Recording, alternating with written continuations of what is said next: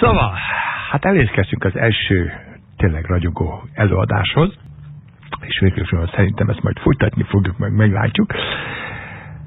Mi mindig sejtettük, hogy azért a magyar nyelv az egy alapnyelv.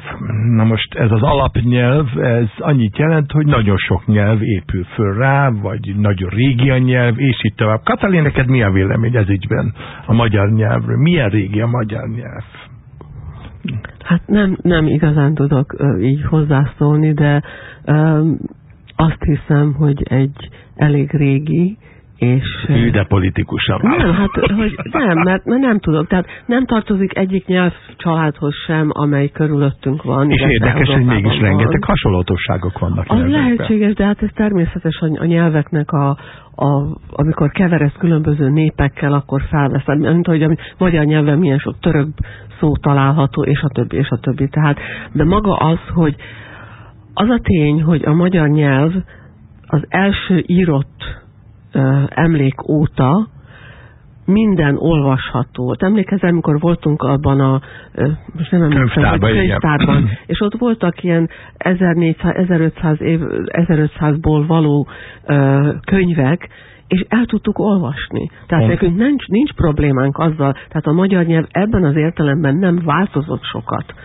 Uh, tehát megtartotta azt a formáját, ahogy akkor volt, az lehetséges, hogy használunk más szavakat, Na most a többi. Ennek az a lényege, hogy végső soron Kis Ágnes, ami mesemondunk, egy új programmal jelentkezik, megint egy új programmal jelentkezik, az is tulajdonképpen azt feszegetik Mészáros Józseffel, hogy mi a különbség, vagy mi a hasonlatosság a magyar nyelv és az angol nyelv között. Ágikám, vidd el a szót.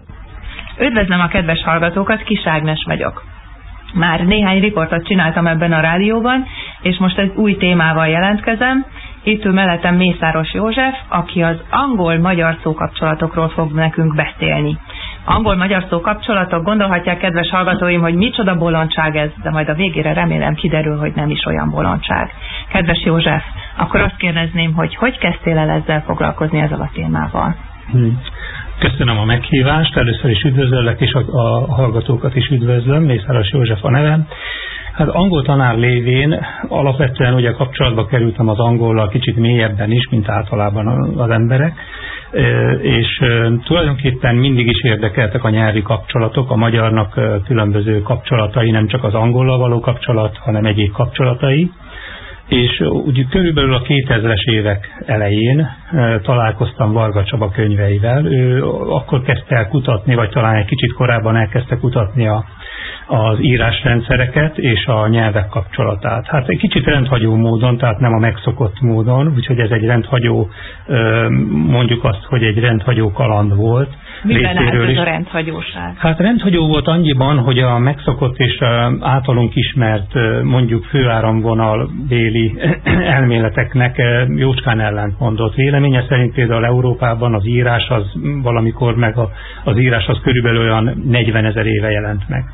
Azta. És tehát ő elkezdett könyveket írni többek között a kőkor élő nyelve, ahol jeleket és, és az ókor, illetve a kőkor nyelvét kutatta, és hát ez nagyon felkeltette az érdeklődésemet, és attól kezdve engem is érdekelt fura módon a tanításomban nagyon sokszor találkoztam szavakkal, amelyeknek meglepő módon hasonló hangalakja, hasonló ö, ö, jelentése volt a magyarral. Egy-két példát is hozhatok, például van az a szó, hogy you, angolul, amit úgy, úgy betűzünk, hogy EWE, és ennek a jelentése ugye anyajú. Na hát a magyarban pedig a jú, ez tökéletesen megfelel ennek a jelentésnek. Igen, és elvileg miért volna ennek a kettőnek köze egymáshoz, de aztán ki, hogy mégis van. E, valószínű, hogy van, nem akarok a történelmi mélységekbe menni, mert ugye az, hogy a magyar ős nép, meg a valamikori német törzsek milyen módon és hogy találkozhattak az orosz gyeptéken, ez nem az én asztalom. Viszont engem érdekelt a magyar, a magyar nyelv gyökrendszere. Varga Csaba nyomán én is ebből indultam ki, hogy tulajdonképpen a kapcsolat a magyar szavak és az angol szavak között gyök szinten van. Azt egyébként, hogyha valaki nem tisztában azzal, hogy mit jelent az, hogy gyökrendszer, egy pár szó vagy mondat erejéig hát, elmagyarázni? Tulajdonképpen a gyök a legkisebb értelmes egysége a nyelvnek, tehát mit tudom én mondjuk vegyünk egy példát a magyarban, hogyha veszük azt a szót, hogy kerület, ami egy egyszerű szó, egy városnak a kerülete, ugye annak a gyöke az a ker, vagyis a kör, alapvetően a kör érteményű szó. Tehát ebből indul, a magyarban különösen mindig egy gyökből indítunk, és utána toldalékokat teszünk a szóhoz. Uh-huh. Tehát az a ker egyébként csak mellékesen, vagy nem mellékesen mondom, hogy ez a ker gyök, ez az indo-európai nyelvekben is megvan, a proto-indo-európai gyök pontosan így néz ki, pontosan így hangzik, hogy ker, és jelentése ugyanez. Na hát milyen érdekes, és azt gondolnánk, hogy a magyar az indo-európai nyelvektől teljesen különbözik, és akkor ezek szerint mégsem lehet, hogy bizonyosodik, hogy elképzel, jobb, több a kapcsolat, mint? Elképzelhető, hogy van valamilyen kapcsolat, és lehet, hogy át kell gondolni az eddig a magyarról, illetve a, a úgynevezett finnugor nyelveknek nevezett nyelvek, és az úgynevezett indo-európai nyelveknek nevezett nyelvek kapcsolatát. Uh-huh. Na térjünk vissza arra, hogy angol-magyar szókapcsolatok. Tehát elmondtad, hogy hogy kezdted el, igen, és igen. akkor most, hogy mire jutottál. Még egyszer visszatérek Varga Csabára, mert még egyszer hangsúlyozom, hogy ezt ő kezdte el ezt a munkát, és én tulajdonképpen folytatom az ő munkáját. Amikor ő elkezdte a 2000-es évek elején, vagy talán korábban, ezt pontosan nem tudom, hogy mikor, lényeg az, hogy az ő munkái során, vagy az ő buzdítására egyszer csak elkezdtem én is keresni az angol és magyar szókapcsolatokat, és csak tulajdonképpen szórakozásképpen óráimon, vagy pedig csak úgy utazásaim közben egyszer-egyszer bevillant egy-egy szópár. Én akkor azt jegyzetekre letettem, és akkor eltelt egy pár év, és akkor elkezdtem őket, ezeket a szavakat, olyan durván 300-400 közötti szókapcsolat volt ez. Tudnál egy példát mondani? Hát amit már említettem, ezt a jó, vagy ott van például az a szó, hogy harsh, angolul, igen. ugye az azt jelenti, hogy hars, vagyis harsány. Na, Tehát, hogy, igen, vagy valami, igen. igen. Tehát, hogy egy ilyen, ilyen szavak beugrottak, vagy olyan, vagy olyan szó például, mint a, az az angol szó, hogy tomb, amit ugye úgy betűzünk, hogy T-O-M-B. Igen. És jelentése sírhant, vagyis domb. Igen. Sírdom. Igen, ki gondolná. Igen, igen, igen, igen. Tehát ezek így bejöttek, és akkor ezeket így párba, de csak jegyzetfüzetekbe először betettem, és utána mindezeket elkezdtem. Úgy gondoltam, hogy azért 300-400 szó az már gyanús mennyiség, és elkezdtem egy táblázatba gyűjteni. Na és akkor 2007-ben történt egy érdekes dolog, megjelent Varga Csabának egy új könyve, és pedig azzal a címmel, hogy az angol szókincs magyar szemmel. Az én legnagyobb megdöbbenésemre is. Ezek szerint nem csak neked jutott eszedbe. Nem, alapvetően ez Varga Csabának. Igen. Tehát ez a Varga Csaba munkája, ezt hangsúlyoznom kell, és én tulajdonképpen folytattam az ő munkáját. Ja, aha. Ő ebben a könyvében ő durván olyan 800 szókapcsolatot talált. Ő elemez is egy-két szót, egy-két szópárt, és ő is kigyűjti a szópárokat. Uh-huh. Na most az történt, hogy én személyesen is fölvettem a kapcsolatot Varga Csabával, sokszor beszélgettünk, és aztán sajnos váratlanul ő meghalt. 2006-ban ő meghalt, és akkor én úgy gondoltam, hogy hát ha már én így ennyire, hogy úgy mondjam, belekeveredtem ebbe az ügybe, én szeretném folytatni az ő munkáját.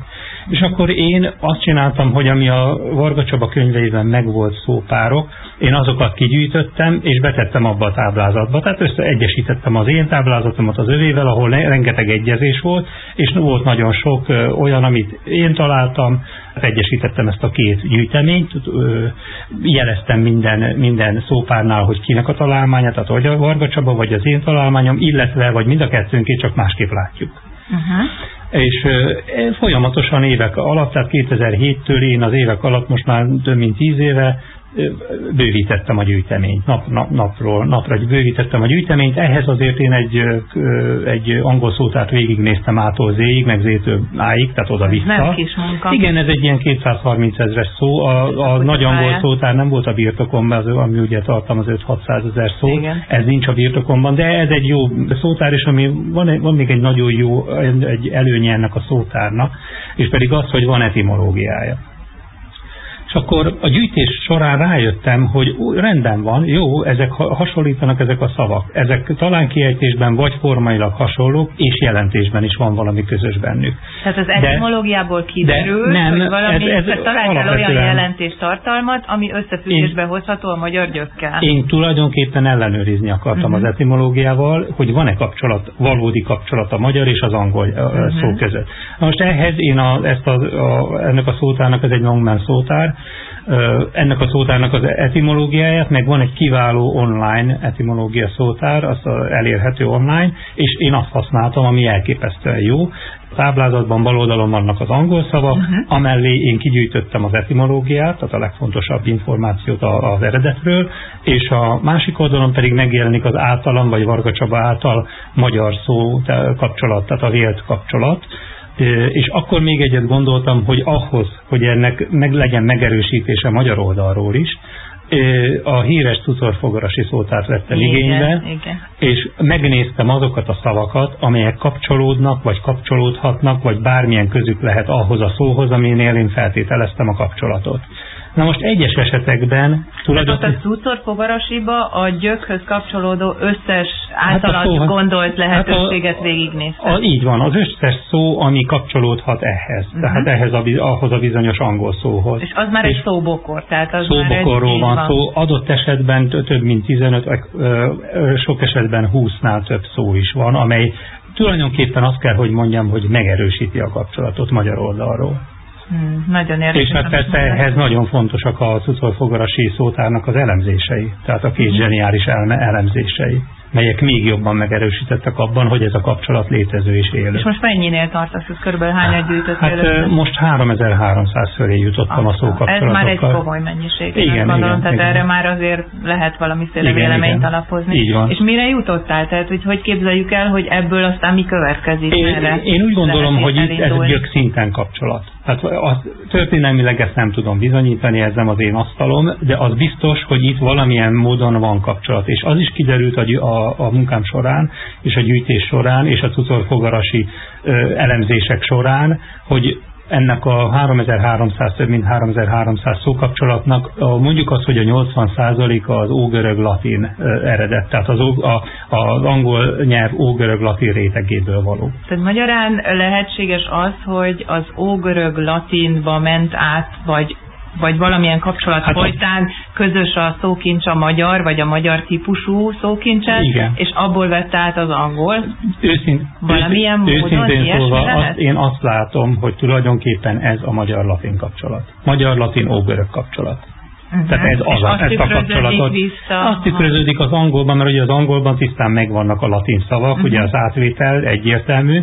Hogy a magyarba hogy került a latin, vagy a latinba hogy került a magyar, na az egy nagy kérdés. De ez még Igen. mondom nem nyelvész, tehát hivatalos nyelvész lévén, én ebbe olyan mélyen nem mentem bele. Tehát én mondjuk azt, hogy úgy mentem bele, mint egy nyelvtanár mint egy amatőr. És hogyha ezt mondjuk más nyelvekkel kapcsolatban is, tehát a szláv nyelvekkel, vagy a más germán nyelvekkel, tehát a némettel, a svéddel akár, nem tudom, szóval akkor mi történik, vagy erről nagyon, van valami van, információ? Van, nagyon hasonló dolog történik, és ezt Varga Csabának köszönhetően meg tudjuk, hogy mi történik, uh-huh. mert ő kigyűjtötte ezt is. Vannak szavaink a múltból címmel, megjelent egy könyv, ahol nem is tudom, 10-15 nyelvvel, nyelvvel keresi a kapcsolatot, és nagyon sikeresen többek között a némettel, de a franciával is, valamennyi indián nyelvvel, tehát nagyon sokféle nyelvvel kapcsolatban. Igen, azt hiszem is. Kecsuát is megnézi, a kecsua nyelvet, hát. meg, meg több, több más európai nyelvvel is nézi, talán spanyol is, ha jól tudom, most fejből nem tudom, de lényeg az, hogy Varga Csaba nagyon mélyen belement ebbe. Én tulajdonképpen csak az angol-magyar szókapcsolatok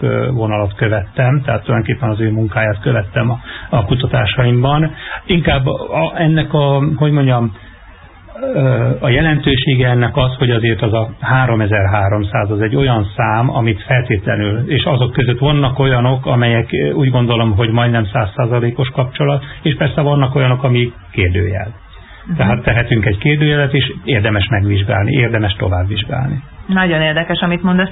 Mi lehet a tovább lépés ebből? Tehát um, következtetés, vagy kutatási irány, merre, merre? Hát, Melyik irányba kell gondolni? Nyilván, nyilván történeti, régészeti vonalon is ezt kutatni kell, hogyha valaki erre rászánja magát, de hogyha nyelvi szinten, a tucorfogarasi szótárban szintén van etimológia. Adott esetben egy-egy szóra ő akár 15 nyelven hoz példát, hogyha van kapcsolat és hasonlóság. És az lehetséges, hogy akkor ugyanaz a szógyök, az 15 nyelvben hasonló jelentéstartalommal Ugyanazzal a jelentésen nincs. Nem, nem meglepő ez, csak vegyük azt az angol szót, hogy bush. Uh-huh. Hát ez a, a, a spanyolban, a, a franciában, a németben, a hollandban, és még sorolhatnám, gyakorlatilag majdnem ugyanaz a szó. Uh-huh. És csak kis változata. Is ott van, és a bokor, vagy mondjuk az, hogy palóc kiejtéssel bukor, Igen. Ugye, vagy bozót, bozont, Igen. vagy bus, busa, magyar Még szó, az busa az ugye egy ilyen felfuvalkodott valami. Tehát rengeteg szó az, ami megjelenik a magyarban is, és ugyanezzel az értelemmel rendelkezik. Tehát ugyanezzel a jelentéssel rendelkezik. És akkor talán gondolatilag eljuthatunk valami ősnyelvhez, vagy ilyesmi? Hát minden esetre az biztos, hogyha a proto-nosztrotikus nyelvre gondolunk, tehát az ősnyelvre, az egy nyelvre, akkor mostani tudásom alapján azt a megállapítást minden esetre megtehetem, hogyha ezt az úgynevezett ősnyelvet kutatnánk, abban nekünk a magyar nyelv rengeteget és nagyon sokat segítene. Abban majdnem biztos vagyok. Mert hogyha kapcsolatot találunk egy-egy proto-indo-európai gyök között, és egy mai élő magyar gyök között, akkor úgy gondolom, hogy a magyarban azok megmaradtak. Valahogy élővé, élők maradtak, és ugye azok a gyökök, például, mint ahogy említettem, ez a ker. Ez ma egy élő használt gyök. Tehát ez nem egy halott gyök, önmagában... És rengeteg nem... szóban megjelenik, tehát Persze, hogy... Tehát, egy hatalmas szóbokor... Ha, igen, és, és mindenféle árnyal jelentéstartalommal bír. Igen, igen. Tehát Jó. azt hiszem, hogy ez a gyökkutatás lenne a további feladat. Jaj, hát nagyon érdekes, amit elmondtál. Köszönöm szépen, hogy beszéltél erről a témáról. Remélem, hogy a hallgatókat is érdekli, és ha esetleg kapunk visszajelzést, lehet, hogy folytatjuk. Köszönöm szépen a figyelmet, köszönöm József köszönöm neked én. is. Köszönöm én is a lehetőséget.